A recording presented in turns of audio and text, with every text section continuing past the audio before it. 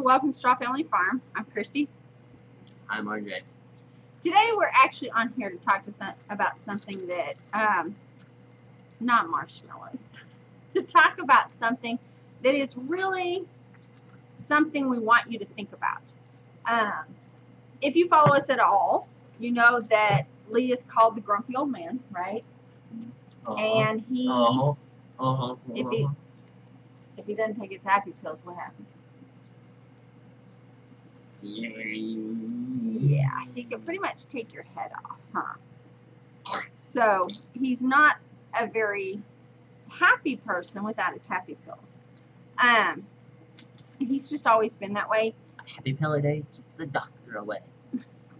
So, and here lately, we've been on one of those roller coasters because he quit taking them. He felt so good that he didn't think he needed them anymore.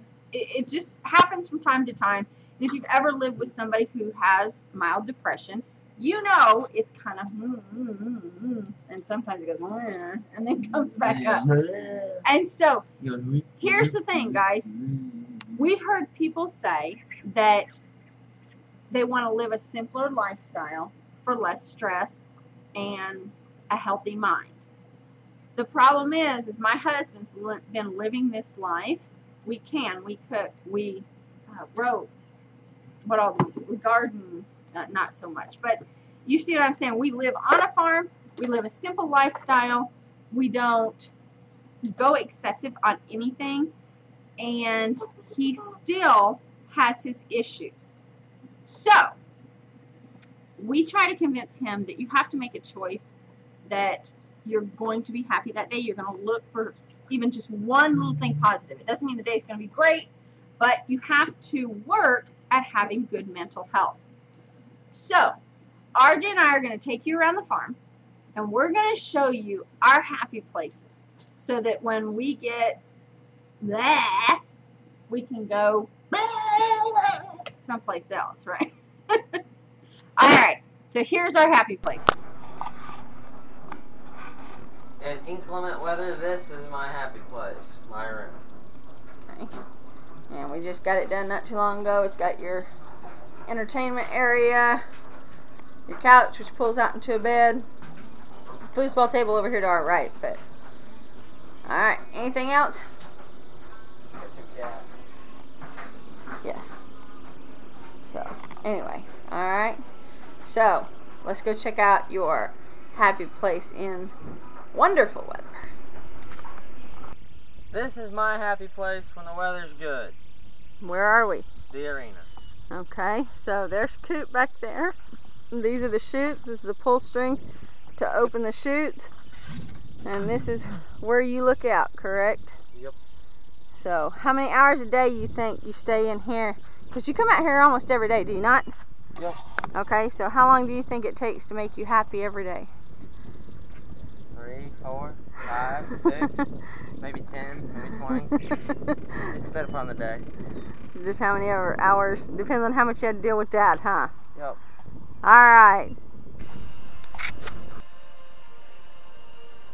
Well, RJ's happy place changes with the weather. Mine changes with the seasons. During lambing season in the spring, from the first birth to the very last, this barn here is my happy place.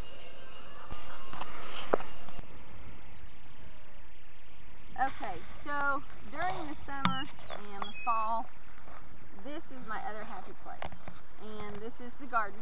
It used to be a spot that I really didn't care for because number one, we didn't have a swing down here. And number two, right over there used to be a big brush pile and I couldn't stand the sight of it. So we're going to find someplace else to put the brush pile and we're going to have our lovely garden down here. And I'm super excited to build this part up as my summer, fall favorite spot. Okay. And as with all places, we also have those not so happy places, huh? Don't make me go there no more. Don't make me go. Come with us and I'll show you where we're not so happy with either. Don't either. make me go. While this garden might be Mom's favorite spot, it's my least favorite spot. How 'cause come? Snakes here. Snakes? How do you figure there's snakes here? Been three snakes seen, and they were all headed to the garden. How do you figure? One was there, one was in the garden, and one was over there. Garden's the middle point. So you just say you don't like the garden because snakes were around it? Yep. You big wuss. Okay, so this is my least happy place, and it's not for any other reason other than there's Delilah. She's not my unhappy place. Oh, come here. Delilah. oh, yeah. Mhm. Uh, back to our regularly scheduled program. and off she runs. She's like, I'm out of here. Alright, this is actually my unhappy place because it's got all the equipment in it. It's got our extra hay rings. It's got um, wool for shearing that needs to go down into the garden that hasn't been used. It's got extra feeders, fencing, kennels and cages, the hay, uh, pallets. The trash pile is here. Um, just a lot of everything that can't really be cleaned up. I like clean and organized. Um, and this is just not clean to me. So this is my least happy place to be. Okay. If you're seeing this, I didn't die in my not so happy place.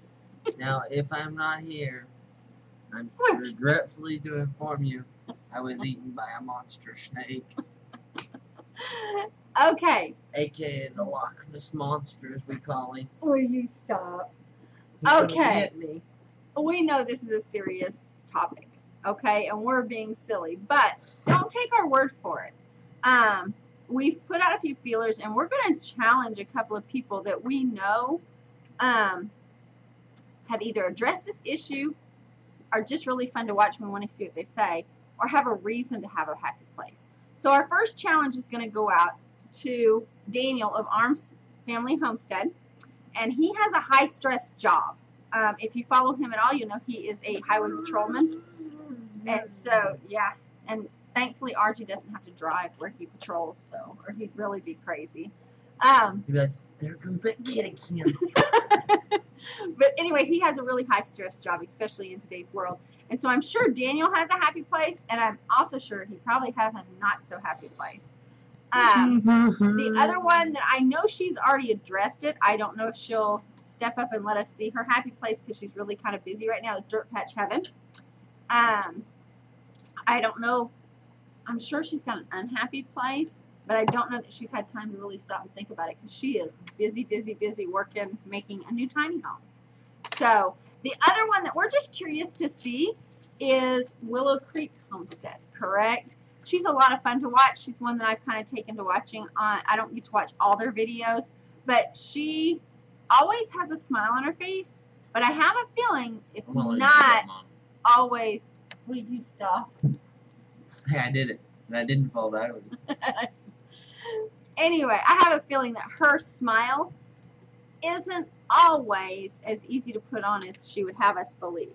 So, um, we're going to shout out to them and see if they can show us their happy place. And again, they're not so happy place because every farm has one. And don't think that you're going to come into this life and it's going to be all roses. It's not going to. It's not all sunshine and rainbows, folks. No. It takes rain to make a rainbow. That's right. And the thing is, is that if you think just changing your lifestyle is going to change the stress, it is going to change the stress. The stress There is still going to be there, though. That's right. It's a different kind of stress, and there's different things you have to struggle and worry about. So think about that before you decide you're going to jump right in. Okay? So I'm going to put links below to Daniel's um, channel so that if he does answer our challenge, you can see his. Willow Creek Homestead, I'll put hers in there, and of course, Dirt Patch Heaven, one of our favorites, will all be down below so that you can see if they answer our challenge. But we're looking for happy places and unhappy places and how they deal with the stress of a homestead. See you guys later. Bye.